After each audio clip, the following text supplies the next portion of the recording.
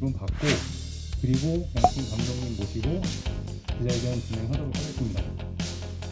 어 그리고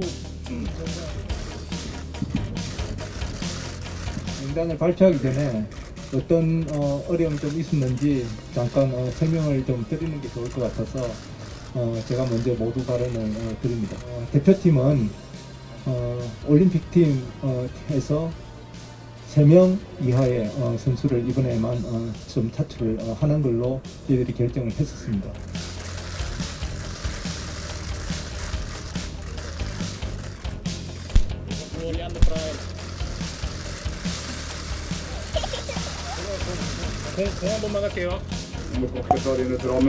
Eh, naturalmente difícil, eh, faz praticamente eh, dentro de pouco, de pouco tempo para 오랜만에 이렇게 인사를 하는 것 같아서 아유, 머리도 싹 깎고 좀 아주 좀 깨끗하게 여러분 강간 얼굴로 아, 뵈려고 이렇게 준비하고 왔습니다.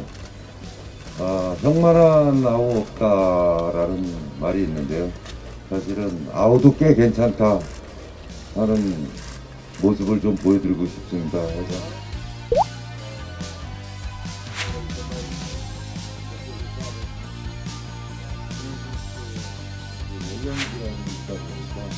아, 뭐 이런 부분에서